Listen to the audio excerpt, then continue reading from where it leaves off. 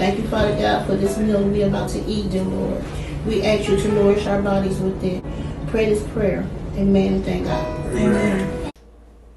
Welcome back to the Renata Family channel where we do appreciate each and every one of you guys for watching our videos, commenting, and liking our videos. How everyone doing on today? Hopefully good and fine. Well, today I will be making a meatloaf. And my ingredients that I will be using is three pounds of ground beef, um, 16 ounces of turkey sausage. I will be using some Lipton soup, uh, onion soup package, some tomato paste, some carnation milk, some breadsticks, breadsticks, breadcrumbs, y'all. some black pepper, sazon, garlic powder, a little beef stock, some mustard, some ketchup. I like to put a little shredded cheese in mine, y'all. I also have two eggs if I didn't mention it. And I um I use the carnation milk, but you can very well use the regular milk. I also have a green and red bell pepper and a red onion chopped up, y'all, to go in there. So, with that being said, let's get to mixing up this meatloaf.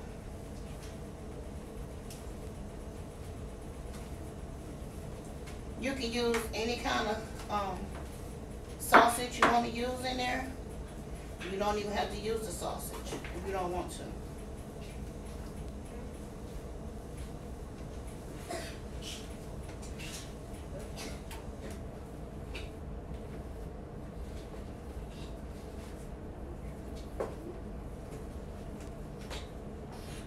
Okay.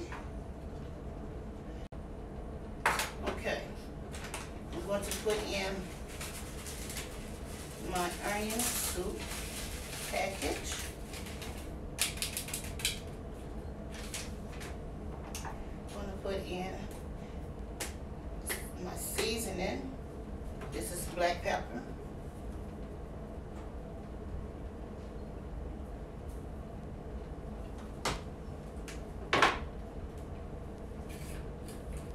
Garlic powder.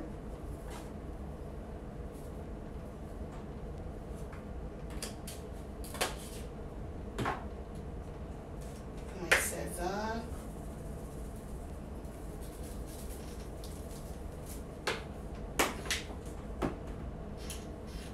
This is the complete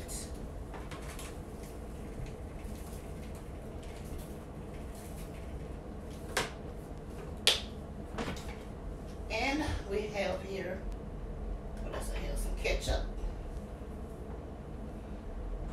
and sometimes I will saute my bell pepper and my onions, but today I'm just gonna only put like maybe two and a half teaspoons of the ketchup and around two and a half of the mustard. Okay. My cheese, I just get a handful. Probably like a half a cup. Half a cup to a cup full. And we're gonna use the tomato paste. But I don't use y'all, I throw it away anyway with this, so. Say this like a cup. A cup, a cup, a cup. I'm trying to put everything because once you touch your meat, you really don't want to touch other stuff. Two eggs.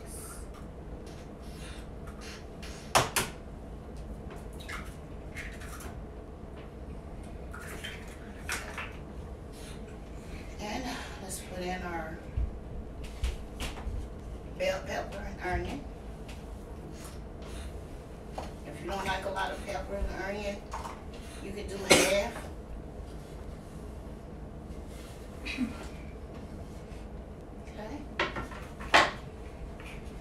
And I'm gonna be putting in my um breadcrumbs.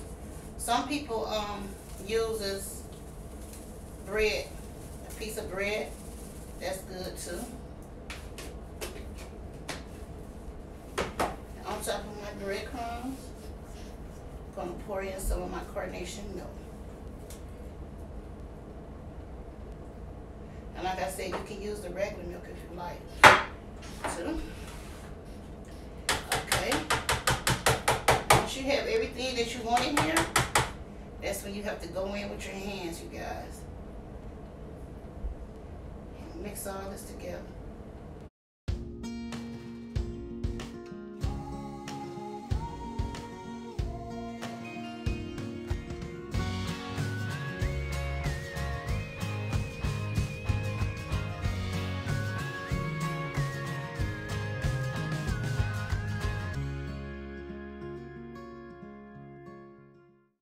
You see in here, you gotta get in there and mix everything together, but you don't wanna do, um, a whole lot of mixing. Cause it will make your meat tough.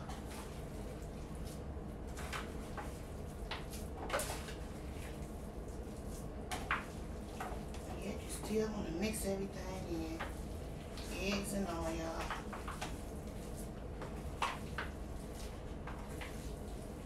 And what we're gonna put on top of this is some gravy. And I have some, what are them, Bob's, um, mashed potatoes that you put in the oven. We will be eating that. And these somewhere wanna. I'm gonna separate y'all. Firm your meat though.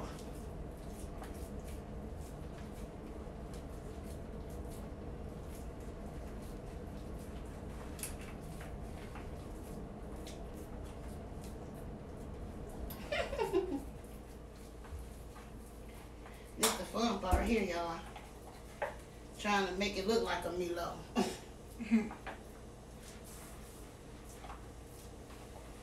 I have my oven on 350 degrees.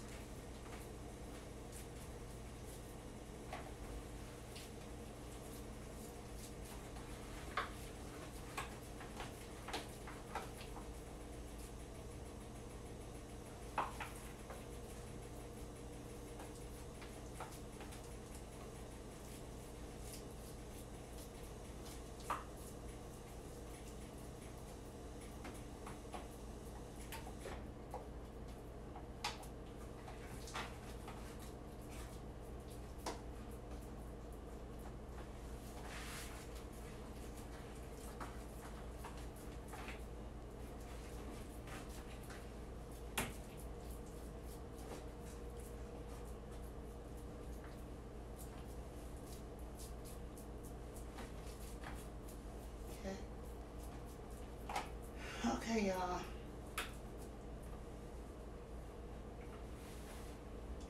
Wipe my hands off. Oh, she got me plenty of Scotty towel. You said you needed a bigger piece? right. You did just that to me. Bigger piece. Okay. With the chicken broth, y'all. Not chicken, sorry. I have beef stock. To keep it nice and moist, I do it like around my uh, pan here, right in the middle.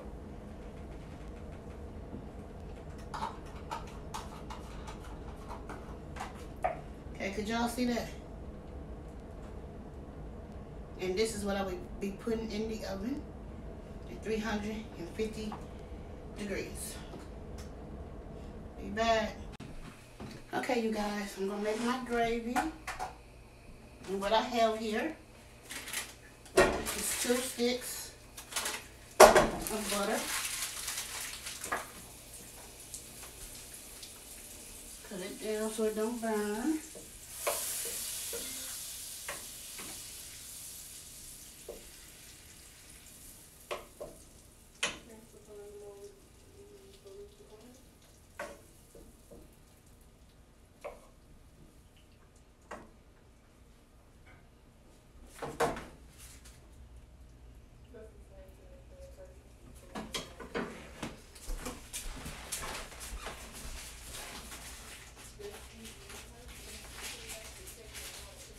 And when you're doing gravy, you want to do equal with your butter and your flour and your oil and flour, whatever you, whichever way you want to use.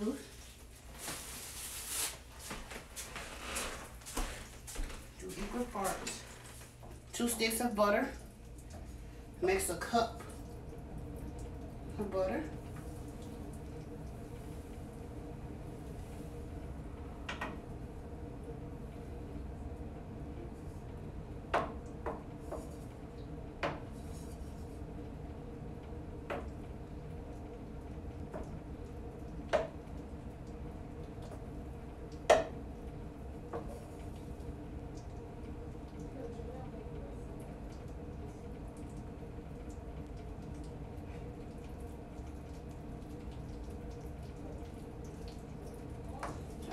Get it y'all. Quicker.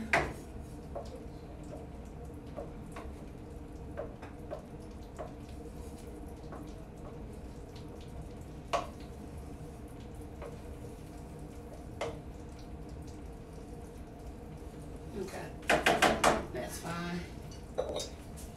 Have a cup of flour. Put in there.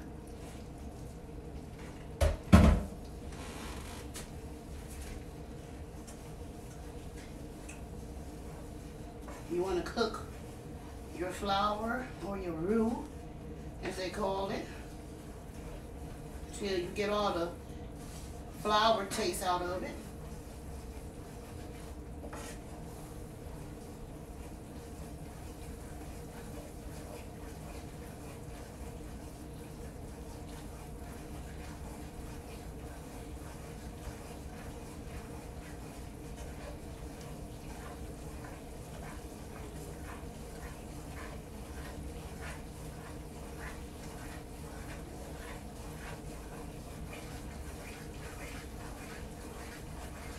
This flour I using, y'all, I have put some uh, little seasoning in it with garlic pepper in the flour, garlic garlic powder and some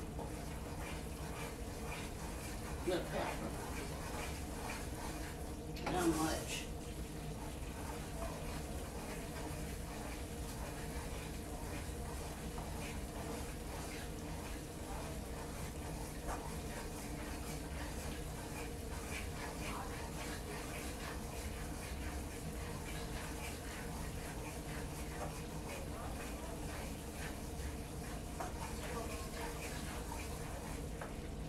Into this, you guys.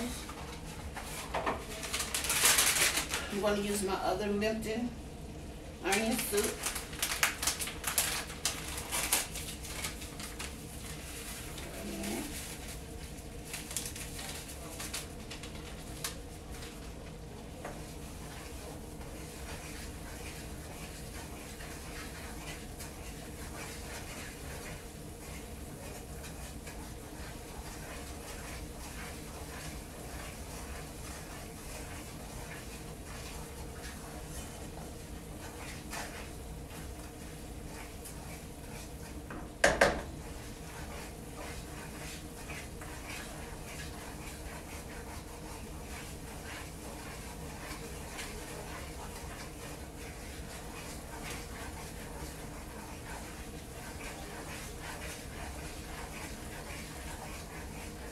You all cook today for supper?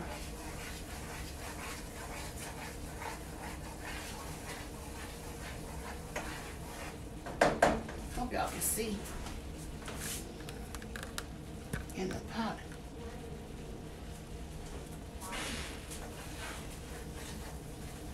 Okay.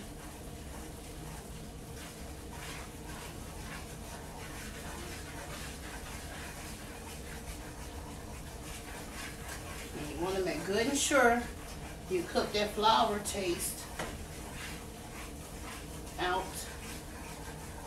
So it won't taste that way in your gravy.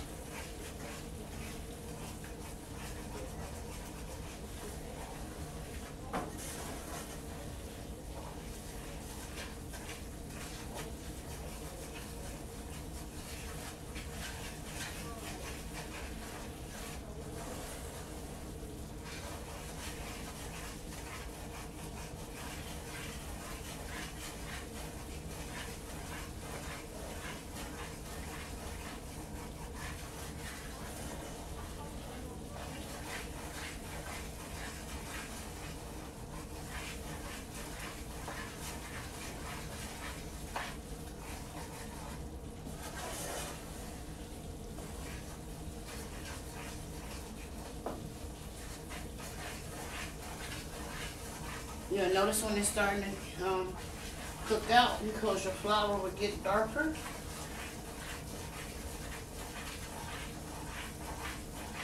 As it cooks out.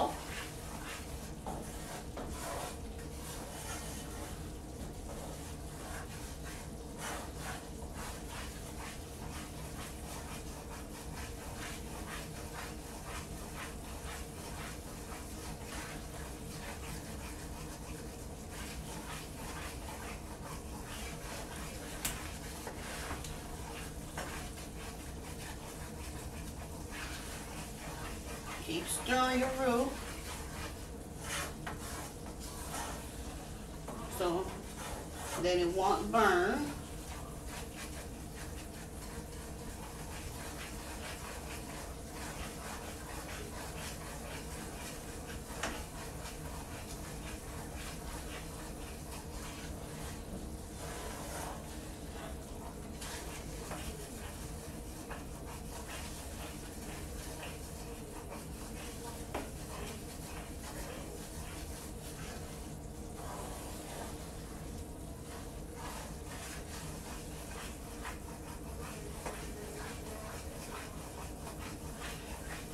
I know a couple of people who makes like gumbo and the roof will be smelling so good when they making it.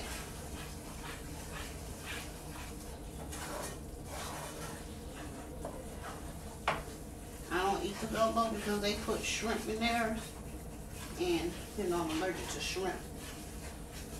So I don't eat the gumbo though. Said one day I want to try to make one without the shrimp. Y'all never made one. So I don't know how it will come out. I'm going to try to ask one of them for the recipe and I'm going to add everything but the shrimp. I don't know, does that what make the gumbo taste better? Or what? I don't know. So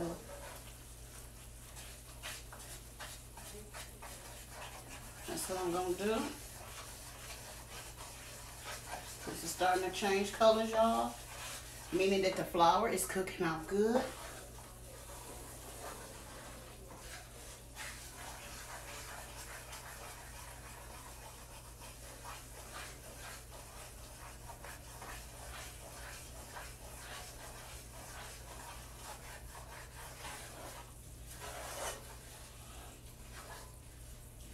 Sort of like that caramel cake. Gotta keep a nice stir on it so it won't burn.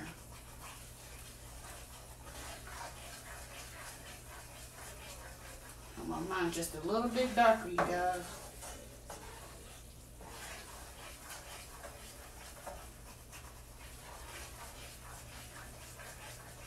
And then we will be ready. I'm gonna use some of my broth on here. Beef stock broth. And this is about how I want it. I'm gonna throw this in there. Hope the smoke alarm don't go off, y'all.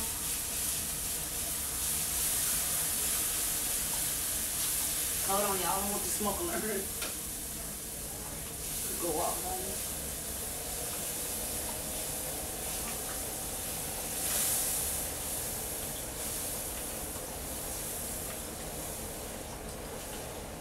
Okay, y'all, I took this whole thing and probably still gotta add some more. This is 32 ounce, I knew it. One minute, y'all. Okay, y'all. I added a cup of regular water to get it to this consistency that I like it. And everything is cooked out the bottom. Now, I'm gonna get ready to drain the grease off of my meatloaf. And um, this gravy good, y'all. Didn't even have to add no more seasoning or nothing. It's just good. Um, and yeah, I'm put it on my meatloaf. This is ready. Okay, I'll be back. Okay, you guys. Put on my meatloaf.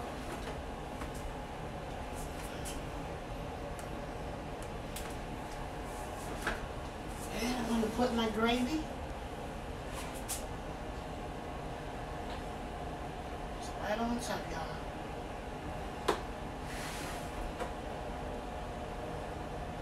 It's nice and moist.